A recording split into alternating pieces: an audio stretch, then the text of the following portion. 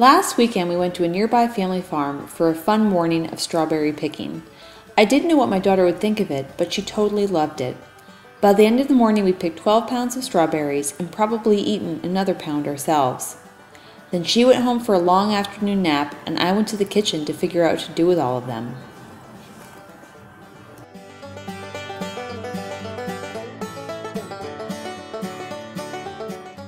Hi, I'm Kelsey, the Naptime Chef.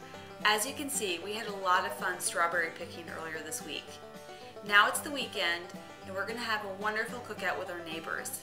They're really nice people, and the kids get along great. So my daughter is napping right now, and what I'm going to do is prepare a strawberry raspberry fruit cobbler.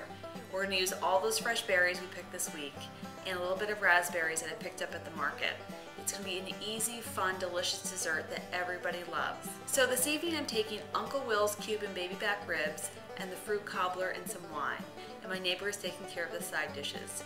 It will be a really fun cookout for the whole family and it's a great activity for a weekend evening.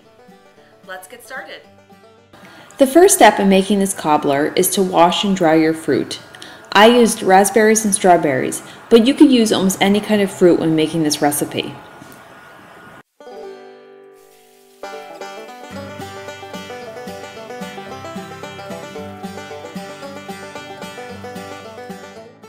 Once the strawberries were washed and patted dry, I sliced them into a Pyrex. I use the Pyrex because it's really easy to measure 4 cups. Then all I have to do is pour it into the pie pan before baking.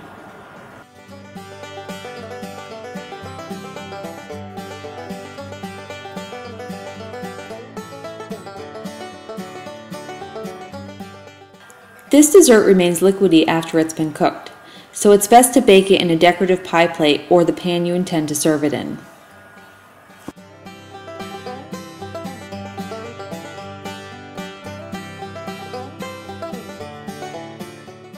To make the topping, add the oats, sugar, flour, butter, and cinnamon to a food processor.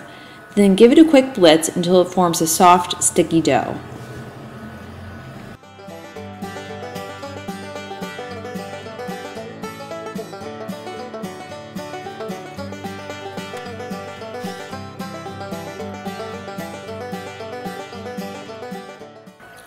Distribute the dough evenly over the fruit and pat it until it forms a nice crust on top. Then everything is all ready for the oven.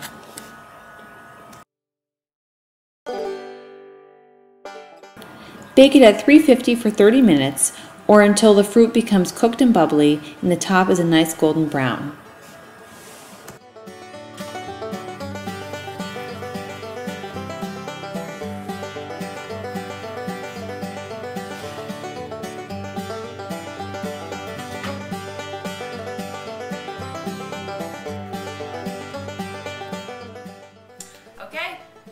My wine, the beer, and the cobbler. My husband's already outside grilling up the ribs. This is going to be a really fun family cookout. The sun is back out again so we can eat outside. This is a great weekend afternoon.